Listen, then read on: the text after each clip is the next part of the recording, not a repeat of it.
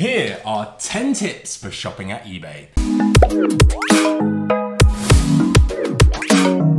Deal Hunters, today I'm sharing my top 10 tips for scoring amazing bargains on eBay. Shopping on eBay can be overwhelming, but there are some tricks you can use not only to make things easier for yourself, but also to make sure you get the cheapest price possible. So keep watching to the very end to see my number one tip for getting the best deal. Tip number 10 is to avoid bidding wars. If you see something you like on eBay, it's so easy to get caught up in the bidding, especially when the time starts ticking down. Usually, you end up spending way more than you wanted to because it's so easy to get caught up in the moment. It's important to set limits for yourself so you know when you can walk away from a purchase. Moving on to tip number nine, use your filters wisely. Whilst getting bogged down in bidding against lots of other people isn't a good idea, setting your filters to sort by ending soonest can help you score a big bargain.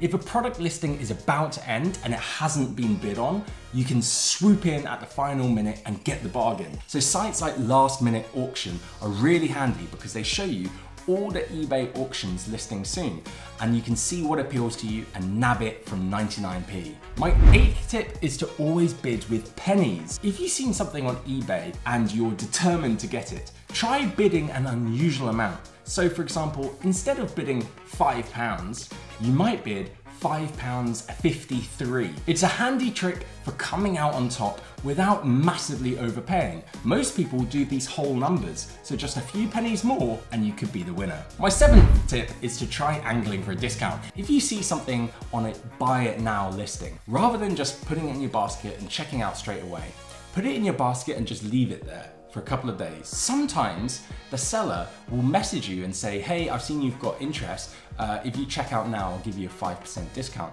It won't work every time, but you've got nothing to lose just by holding it there. Tip number six is to set up alerts for items you are looking for. If you've got something specific in mind that you want to buy on eBay, you can save the search and then whenever someone lists that item as an auction, eBay will let you know. It's handy as you don't need to keep checking eBay every day for something that's new and you just let eBay do the work for you. My fifth tip is to search for local items you can collect. Often sellers will list the items for collection only, so you can only see them if you live close enough once you've typed in your postcode. Not only is this convenient for the seller, it also means less competition for you, as it narrows the number of people who can see and buy the item. And usually it means that items sell for less and you save on any delivery costs. Tip number four is to always look out for information a seller may have forgotten to include. For example, if they've listed a Barbour jacket, but they've only listed it as a navy quilted jacket, forgetting the brand name, you may be able to bag it for a good price as it won't always get as much interest. You can use the site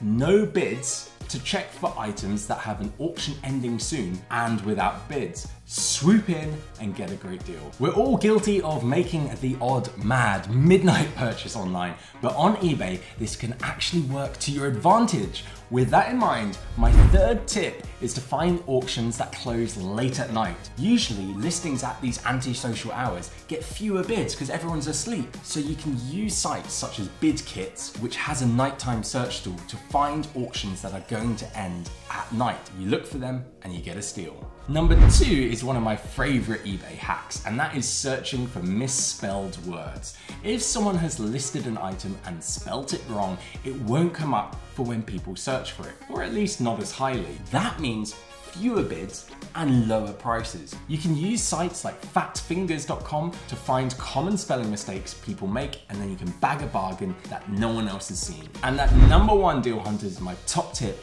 is never to assume that just because it's on eBay, you're getting the cheapest price. You can use price comparison tools like the latest deals one to check you're getting a genuinely good deal. Deal Hunters, thank you so much for watching. And if you have any top tips or questions for shopping on eBay, please leave them in the comments below and I'll be happy to answer. Don't forget to subscribe to latest deals and please give this video a thumbs up if you enjoyed it. Deal Hunters, I'll see you in the next one.